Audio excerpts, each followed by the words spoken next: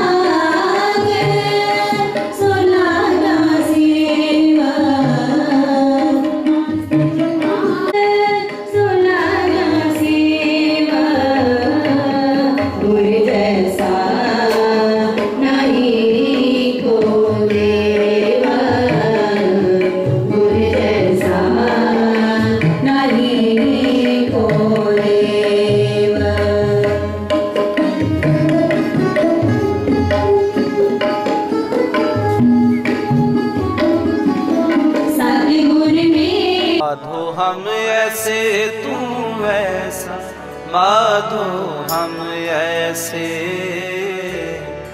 माधो हम ऐसे।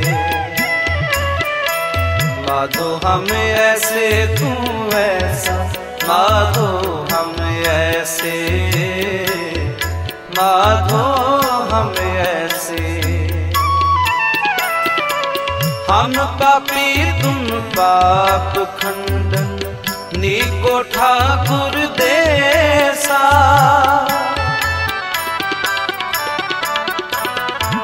हम पापी तुम पाप खंडन नीको ठाकुर देसा देसा माधो हम ऐसे तू वैसा माधो हम ऐसे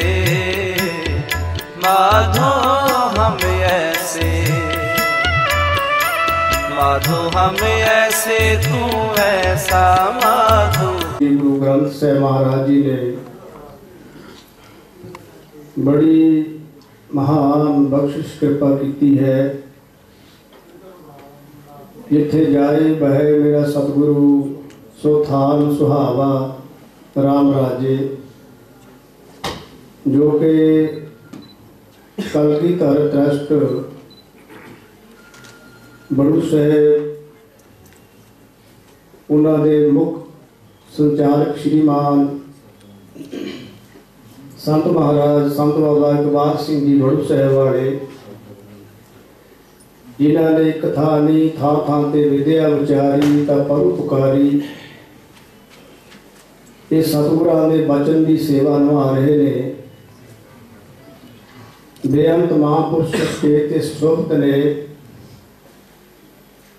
ਇੱਕ ਵਾਰੀ ਦਾ ਜ਼ਿਕਰ ਹੈ, ਧੰਨ ਧੰਨ ਸੰਤ ਬਾਬਾ ਸਮੇਂ ਵਿੱਚ, ਜਿੱਥੇ ਸਤਿਗੁਰੂ ਸ੍ਰੀ ਗੁਰੂ ਗ੍ਰੰਥ ਸਾਹਿਬ, ਸੱਚੇ ਪਾਤਸ਼ਾਹ ਜੀ ਦਾ ਪਾਵਨ ਪਵਿੱਤਰ ਪ੍ਰਕਾਸ਼ ਹੈ।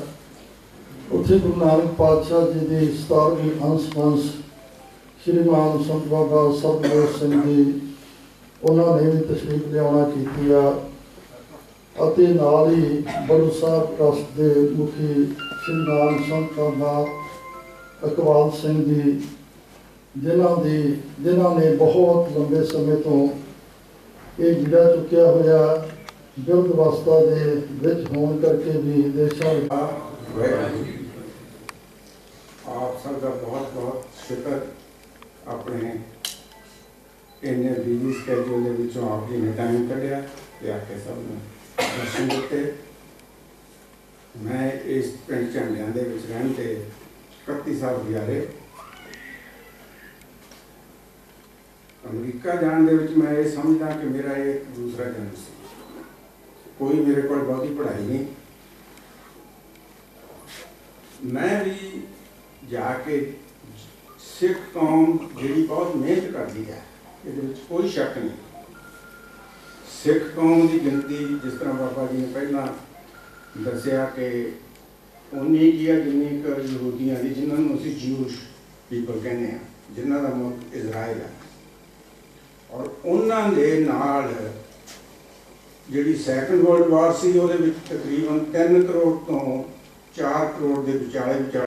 ਔਰ ਬੜੇ ਬੜੇ ਮਹਾਪੁਰਸ਼ਾਂ ਨੇ ਆ ਕੇ ਇੱਥੇ ਚਰਨ ਪਾਏ ਨੇ ਔਰ ਅਸੀਸਾਂ ਦਿੱਤੀਆਂ ਨੇ। ਜਿਨ੍ਹਾਂ ਚੋਂ ਗੁਰੂ ਨਾਨਕ ਦੇਵ ਜੀ ਦੇ ਕੁਲ ਦੇ ਵਿੱਚੋਂ ਉਹਨਾਂ ਦਾ ਦੇ ਬੇਦੀ ਸਾਹਿਬ, ਰਾਮਪੁਰ ਪੇੜੇ ਵਾਲੇ, ਇਹਨਾਂ ਦੇ ਮਹਾਪੁਰਸ਼ਾਂ ਨੇ ਜਾ ਕੇ ਉੱਥੇ ਗੁਰੂ ਸਾਹਿਬ ਪਹਿਲਾ ਕੱਚਾ ਗੁਰਦੁਆਰਾ ਬਣਾਇਆ ਉਦੋਂ ਨਾਲ ਸੰਤ ਜੀ ਮਾਇਆ ਨੇ ਅਰਦਾਸ ਕੀਤੀ ਸੀ।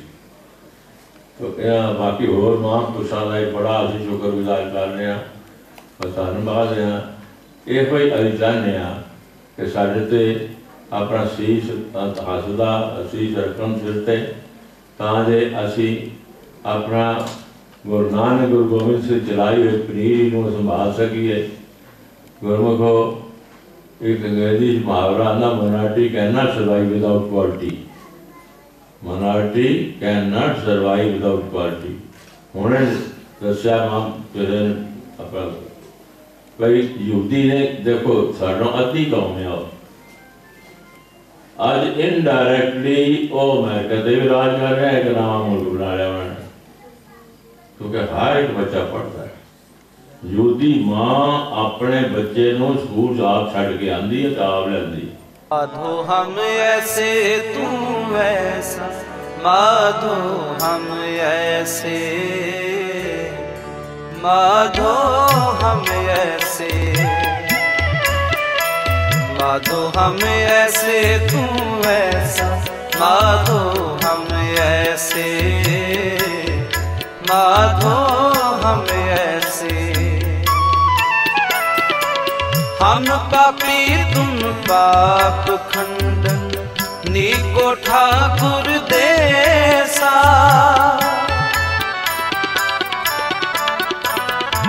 हम पापी तुम पाप खंडन नीको ठाकुर देसा देसा माधो हम ऐसे तू वैसा माधो हम ऐसे माधो हम ऐसे माधो हम ऐसे तू ऐसा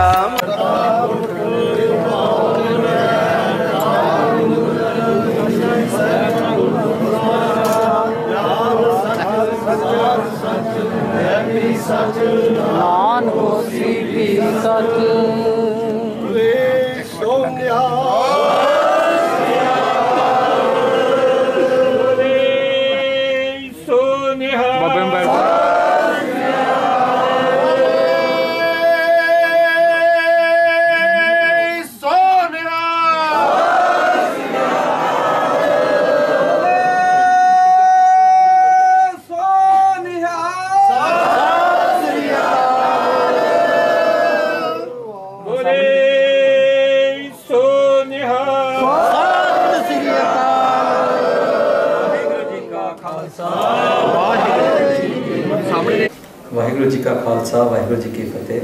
ਦਾਸ doctor Davinder Singh, secretary Kalgidhar trust, ਆਪ ਜੀ ਨੂੰ ਜੀ ਆਇਆਂ ਆਖਦਾ ਹੈ ਤੇ ਆਪ ਜੀ ਨੂੰ ਇਹ ਅਸੀਂ ਦੱਸਣਾ ਚਾਹੁੰਦੇ ਹਾਂ ਕਿ ਕਲਗੀਧਰ ਟਰਸਟ ਦੁਆਰਾ ਚਲਾਏ ਹੋਏ ਜਿਹੜਾ ਇਹ ਰੈਵੋਲੂਸ਼ਨ ਚੱਲ ਰਿਹਾ ਹੈ, ਐਜੂਕੇਸ਼ਨ ਦਾ ਰੂਰਲ ਪੰਜਾਬ ਵਿੱਚ, ਉਸ ਦੇ ਅੰਤਰਗਤ ਅੱਜ ਬੜਾ ਸੁਹਾਗ ਦਿਹਾੜਾ ਹੈ।